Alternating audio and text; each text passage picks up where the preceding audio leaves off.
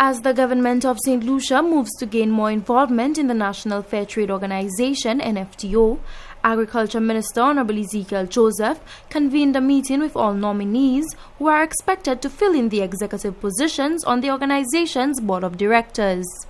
The meeting, which took place on Thursday, May 27, 2021, demonstrates the government's commitment to initiating the strategic new direction, which it says will benefit the NFTO and its member farmers as the previous operating procedures proved ineffective. The options that were put on the table by the consultant in restructuring the NFTO, all three options refer to government having full control and the farmers participated in that in that in that process. I, I believe the farmers are more disappointed, or the majority of them, the majority of them are more disappointed that we did not take full control.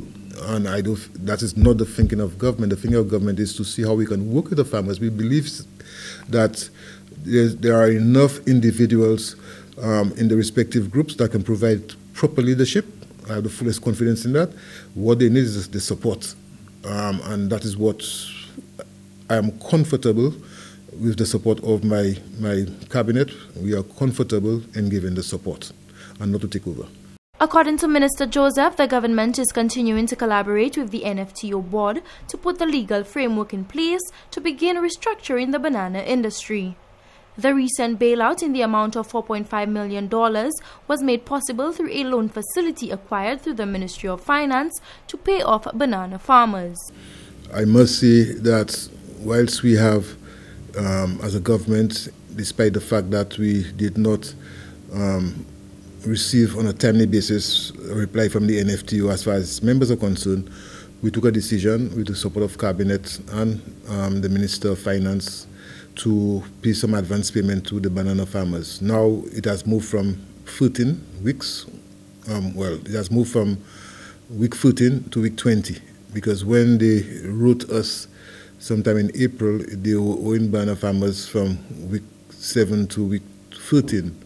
Today we learned that it has moved from week 14 to week 20. So there's still a lot of money is outstanding for the banana farmers, which of course we had factored in in the loan that we are getting from the from the um, Central Development Bank with the support of the Ministry of Finance. Minister Joseph notes that the immediate goals of the NFTO as well as the government of St. Lucia are to ensure that farmers are paid on time and that they produce high quality commodities.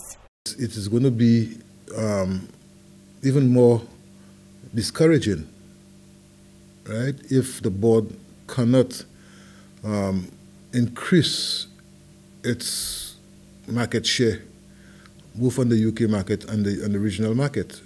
So if the if the board cannot do that, and, and what I'm learning today is that there is an interest, and there is there have been requests by the supermarket through the fruit Fyffes that they want more fruits. So it's for us now not only to sell more fruits, but to sell more quality fruits. That's important. Um, because we cannot continue to, to export fruits, and when it reaches up there, almost 50% of the fruit is being dumped, right? And, and instead of the, the importers of our fruit owing the NFTO, the NFTO is importers. We cannot continue that. We have said so before. Minister Joseph reaffirms the St. Lucian government's commitment to assisting the island banana farmers, constituents who are pivotal to the success of the island's agriculture economy.